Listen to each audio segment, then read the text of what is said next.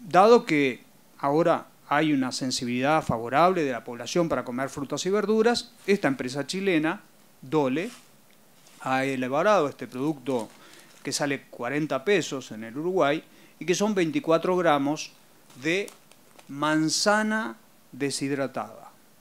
Como la gente quiere tomar verduras, ahora ha fabricado manzanas deshidratadas. Pero fíjense el informe nutricional, yo les he eh, copiado en la página de la izquierda, el informe nutricional que está en la web de la empresa Dole en Chile, porque es un fabricante chileno, y eh, les he eh, fotocopiado el, el sobreimpreso de, de la etiqueta que se vende aquí en Uruguay.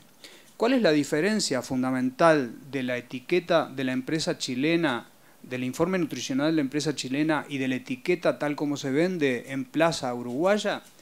Que la etiqueta uruguaya eh, omite que de los 24 gramos de este paquetito, 22 gramos son azúcar, pura azúcar.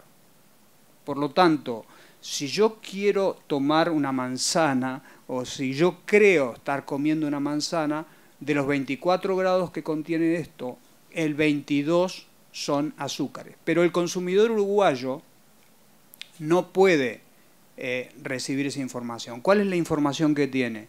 Que tiene eh, em, carbohidratos.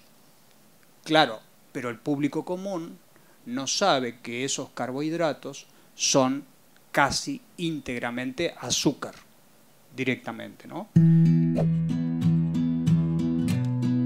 thank you